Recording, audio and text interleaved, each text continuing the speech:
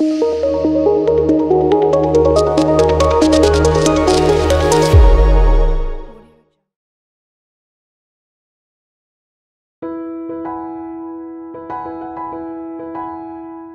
പതിറ്റാണ്ടോളം Bollywood hit ഗാനങ്ങളിലൂടെ സംഗീതാസ്വാദകരുടെ ഹൃദയം കവർന്ന ഇരട്ടപ്പേര്.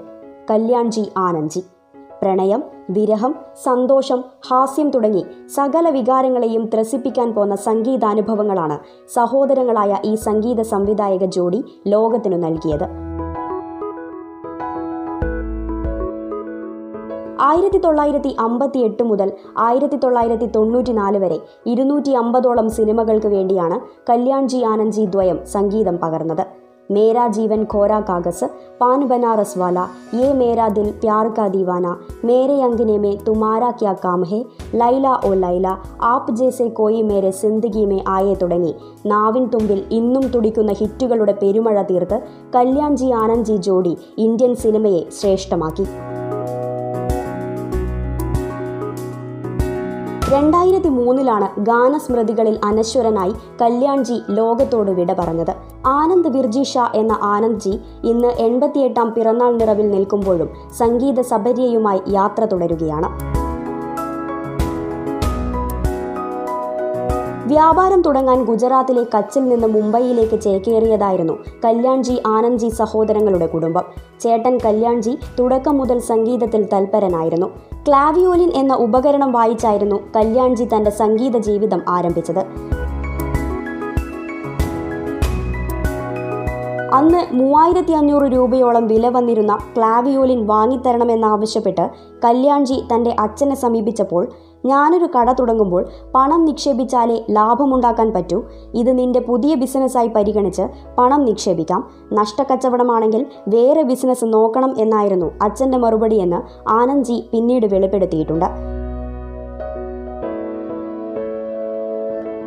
ആയിരത്തി തൊള്ളായിരത്തി അമ്പത്തിനാലിൽ പുറത്തിറങ്ങിയ നാഗിൻ എന്ന ചിത്രത്തിൽ നാഗിൻ ബീൻ എന്ന് പ്രസിദ്ധമായ പാമ്പുകൾ വരുമ്പോഴുള്ള മൂളക്ക ശബ്ദം ക്ലാവിയോലിൻ ഉപയോഗിച്ചാണ് വായിച്ചത്. ഹേമന്ത് കുമാർ സംഗീത സംവിധാനം നിർവഹിച്ച ചിത്രത്തിൽ പാട്ടുകൾക്കിടയിലും ക്ലാവിയോലിൻ കൊണ്ട് കല്യാൺജി വിസ്മയം തീർത്തു. ഇതോടുകൂടിയാണ് കല്യാൺജി എന്ന പേര് ഹിന്ദി സിനിമയിൽ ശ്രദ്ധിക്കപ്പെട്ടു തുടങ്ങിയത്. അക്കാലത്ത് നടനാവാൻ കൊതിച്ച് സിനിമാ സ്റ്റുഡിയോകളിലും ഷൂട്ടിംഗ് ലൊക്കേഷനുകളിലും അവസരം തേടി നടന്ന സഹോദരൻ ആനന്ദ്ജിയെ നീയും എന്റെ കൂടെ കൂടണമെന്ന് പറഞ്ഞ് കല്യാൺജി ഒപ്പം കൂട്ടുകയായിരുന്നു. പിന്നീട് കല്യാൺജി വിർജി ആൻഡ് പാർട്ടി എന്ന പേരിൽ ഒരു ഓർക്കസ്ട്ര സ്ഥാപിച്ച് മുംബൈയിലും മറ്റും സംഗീത പരിപാടികൾ സംഘടിപ്പിച്ചു ആ സഹോദരങ്ങൾ. ഇന്ത്യയിൽ തത്സമയ സംഗീത ഷോകൾ നടത്താനുള്ള ആദ്യ ശ്രമമായിരുന്നു ഇത്. ആയിരത്തി തൊള്ളായിരത്തി അമ്പത്തി എട്ടിൽ ശങ്കർ ജയ്കിഷനും നൌഷാദും എസ് ഡി ബർമനും അടക്കമുള്ള കരുത്തർ തല ഉയർത്തി നിന്നിരുന്ന ബോളിവുഡിലേക്കാണ് കല്യാൺജിയും സഹോദരൻ ആനന്ദ്ജിയും കയറി വന്നത്. ചലച്ചിത്ര സംഗീതത്തിന്റെ സുവർണ കാലഘട്ടമായിരുന്നു അത്. കൊടികെട്ടിവാണ സംഗീതജ്ഞരുടെ ഇടയിൽ തങ്ങളുടേതായ സ്ഥാനം ഉയർത്തിക്കൊണ്ടുവരാൻ കല്യാൺജിയും ആനന്ദ്ജിയും നന്നേ പരിശ്രമിച്ചു. സംഗീത സംവിധാനത്തെ പ്രൊഫഷൻ എന്നതിലുപരി ഒരു പാഷനായി സമീപിച്ച ആ സഹോദരങ്ങൾക്ക് പക്ഷേ പരാജയപ്പെടുമെന്ന പേടിയില്ലായിരുന്നു. പകരം വയ്ക്കാനില്ലാത്ത മികവായിരുന്നു അതിന്റെ ഫലം. ആയിരത്തി തൊള്ളായിരത്തി അമ്പത്തി ഒൻപതിൽ പുറത്തിറങ്ങിയ സാമ്രാട്ട് ചന്ദ്രഗുപ്ത എന്ന ചിത്രത്തിനു വേണ്ടിയാണ് സ്വതന്ത്ര സംഗീത സംവിധായകൻ എന്ന നിലയിൽ കല്യാൺജി ആദ്യമായി സംഗീതം ചെയ്യുന്നത്. ലതാ മങ്കേഷ്കറിന്റെയും മുഹമ്മദ് റാഫിയുടെയും മധുരതരമായ ശബ്ദത്തിൽ ആസ്വാദകരെ ത്രസിപ്പിച്ച ചാഹെ പാസ് ഹോ പോലുള്ള ഗാനങ്ങൾ അന്ന് വൻ ഹിറ്റായെന്നു മാത്രമല്ല ആ സിനിമയുടെ വാണിജ്യ വിജയം തന്നെ പാട്ടുകളുടെ അടിസ്ഥാനത്തിലായിരുന്നു. പിന്നീട് ചില ചിത്രങ്ങൾക്ക് കല്യാൺജി തനിയെ സംഗീതം നിർവഹിച്ചു. തുടർന്നാണ് ആനന്ദ്ജി അദ്ദേഹത്തോടൊപ്പം ചേരുന്നതും വിഖ്യാതമായ ആ കൂട്ടുകെട്ട് പിറക്കുന്നതും. ആയിരത്തി തൊള്ളായിരത്തി അമ്പത്തി ഒൻപതിൽ പുറത്തിറങ്ങിയ സട്ടാ ബസാർ മഡാരി ആയിരത്തി തൊള്ളായിരത്തി അറുപതിൽ റിലീസായ ചാലിയ തുടങ്ങിയവയായിരുന്നു അവരുടെ ആദ്യകാല ഹിറ്റുകളടങ്ങിയ സിനിമകൾ. ആയിരത്തി തൊള്ളായിരത്തി അറുപത്തിയഞ്ചിൽ പുറത്തിറങ്ങിയ ഹിമാലയ് കി ഗോതുമേം ജബ് ജബ് ഭൂൽഖിലെ തുടങ്ങിയ ബ്ലോക്ക് ബസ്റ്റർ ചിത്രങ്ങളിലൂടെ കല്യാൺജി ആനന്ദ്ജി ദ്വയം ബോളിവുഡിന്റെ അവിഭാജ്യ ഘടകമാവുകയായിരുന്നു. മുഹമ്മദ് റാഫി ലതാ മങ്കേഷ്കർ ആശ ഭോസ്ലെ കിഷോർ കുമാർ മന്നാടെ മുകേഷ് മഹേന്ദ്ര കപൂർ തുടങ്ങി ഇന്ത്യൻ സിനിമ കണ്ട എക്കാലത്തെയും പ്രിയങ്കരായ ഗായകർക്ക് വേണ്ടി അനശ്വരമായ അനേകം ഗാനങ്ങൾ ആ സഹോദര ജോഡിയുടെ സംഗീത മികവിൽ പിറന്നു. മൻഹർ ഉദാസ് കുമാർ സാനു അനുരാധ പോഡ്വാൾ അൽക യാഗ്നിക് സാധന സർഗം സപ്ന മുഖർജി ഉദിത് നാരായണൻ സുനീതി ചൗഹാൻ തുടങ്ങി ഒട്ടനവധി ഗായകർ ബോളിവുഡിൽ ഇടം നേടിയതും കല്യാൺജി ആനന്ദ്ജി ദ്വയം ഒരുക്കിയ അവസരങ്ങളിലൂടെയാണ്.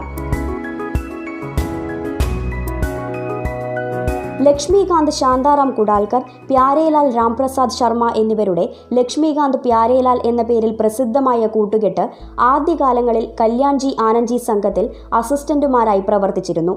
പിന്നീട് ഹിന്ദി ചലച്ചിത്ര ചരിത്രത്തിലെ ഏറ്റവും മികച്ച സംഗീത സംവിധായകരായി മാറിയ ലക്ഷ്മികാന്ത് പ്യാരേലാൽ ആയിരത്തി തൊള്ളായിരത്തി അറുപത്തി മൂന്ന് മുതൽ ആയിരത്തി തൊള്ളായിരത്തി തൊണ്ണൂറ്റി എട്ട് വരെയുള്ള കാലയളവിൽ എഴുന്നൂറ്റി അമ്പതോളം സിനിമകൾക്കാണ് സംഗീതം നൽകിയത്.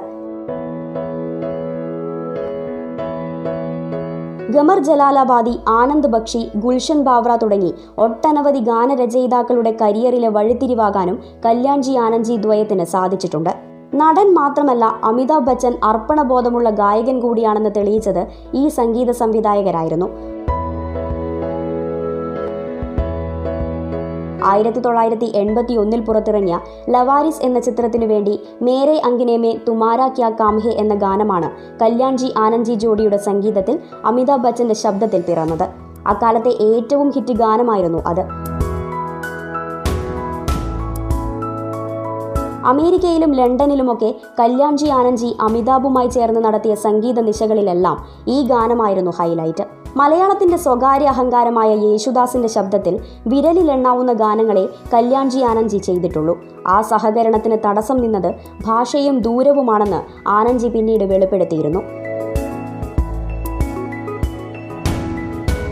ആയിരത്തി തൊള്ളായിരത്തി അറുപത്തി എട്ടിൽ പുറത്തിറങ്ങിയ സരസ്വതി ചന്ദ്ര എന്ന സിനിമയിലൂടെ മികച്ച സംഗീത സംവിധായകർക്കുള്ള ദേശീയ പുരസ്കാരം ആദ്യമായി ഹിന്ദി സിനിമയിലേക്ക് എത്തിച്ചത് കല്യാൺജി ആനന്ദ്ജിയായിരുന്നു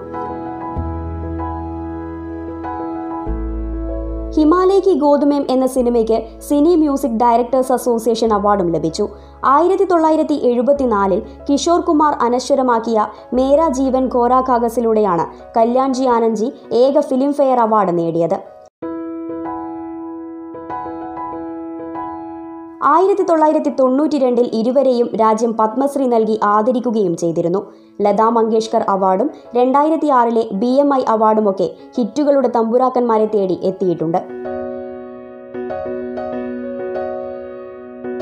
സാങ്കേതികത വളർന്നപ്പോൾ സർഗാത്മകതയുടെ പൂർണത നഷ്ടപ്പെട്ടുകൊണ്ടിരിക്കുകയാണ് ഇന്നത്തെ ചലച്ചിത്ര ഗാനങ്ങളിൽ രാവിലെ ഇഷ്ടപ്പെടുന്ന പാട്ട് ഉച്ചയോടെ മറക്കുന്ന അവസ്ഥയാണ് ഇതുണ്ടാക്കുന്നത്.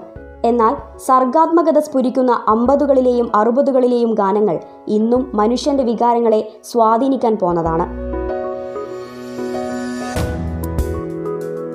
അതുകൊണ്ട് തന്നെയാണ് അത്തരം അനുപമ സംഗീതാനുഭവം പകർന്ന കല്യാൺജി ആനന്ദ്ജിയെ പോലുള്ള പ്രതിഭകൾ ജനഹൃദയങ്ങളിൽ ചിരപ്രതിഷ്ഠ നേടുന്നത്.